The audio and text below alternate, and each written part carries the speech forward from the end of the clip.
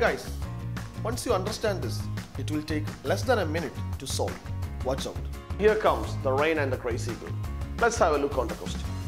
A girl standing on the road holds her umbrella at an angle 30 degree with vertical. The rain is falling at a speed 10 km per hour.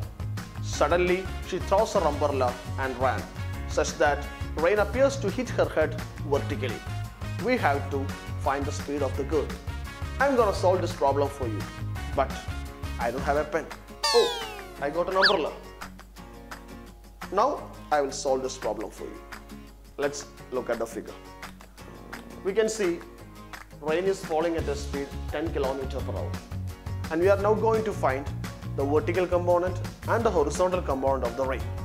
Since the girl is holding at an angle 30 degree with vertical, rain is also falling at an angle 30 degree with vertical. In the diagram, you can see the angles marked. So we are now going to find the horizontal component and the vertical component.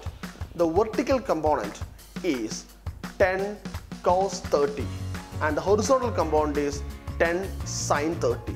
We all know sine 30 is exactly equal to cos 60 and the value of cos 60 is 1 by 2. So the horizontal component is 10 cos 60 that is 10 into 1 by 2 that is 5. Remember the horizontal component of the rain is 5. Now let's come to the second part of the question. She throws her umbrella and ran such that she now feels the rain is falling on her head vertically which means while she is running she is only able to feel the vertical component she is only able to feel the vertical component which means she is missing something what she is missing she is missing the horizontal component or she is not able to see the horizontal component what is the horizontal component 5 so that horizontal component should be cancelled. Then only she will feel that rain is falling vertically downward. So it's so simple.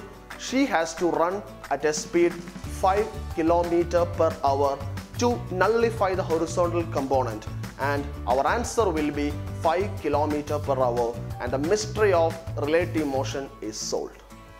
Dear students, if you want to be a NEET topper, set your mind.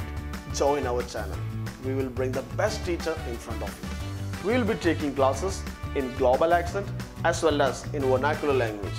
Obviously, our common language, Malayalam. The most attractive feature of this course is we are making available all the classes in our official YouTube channel which is absolutely free for the next 60 days. So never miss this golden opportunity. Subscribe our channel for future updates and notifications. Stay tuned Stay safe. Thank you.